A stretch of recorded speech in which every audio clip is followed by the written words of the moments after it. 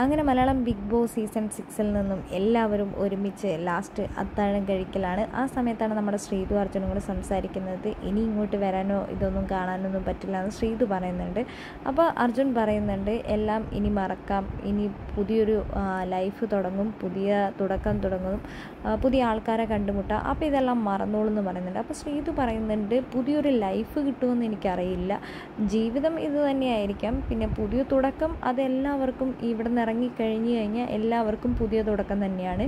രണ്ട് ദിവസം കഴിയുമ്പോൾ നിനക്കും പുതിയ തുടക്കം തന്നെയാണ്. കാരണം നീയും പുറത്തേക്ക് തന്നെയാണ് പോകുന്നതെന്നാണ് ശ്രീതു പറഞ്ഞത്. അപ്പോൾ അർജുൻ പറയുന്നുണ്ട് ആ ഇനി പുതിയ വർക്ക് കിട്ടിക്കഴിയുമ്പോൾ പുതിയ ആൾക്കാരെ കണ്ടുമുട്ടാം. അപ്പോൾ എല്ലാം പുതിയ തുടക്കം തന്നെയാണ്.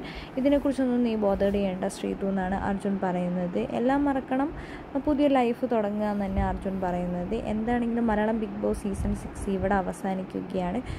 എന്താണെങ്കിലും അർഹതയുള്ള ആൾ തന്നെ വിജയിക്കട്ടെ എന്ന് തന്നെ നമുക്ക് ആശംസിക്കാം. കാരണം നിങ്ങളുടെ വിലയേറിയ വോട്ട് നിങ്ങൾക്ക് ഇഷ്ടപ്പെടുന്ന വ്യക്തിക്ക് തന്നെ നിങ്ങൾ കൊടുക്കുക.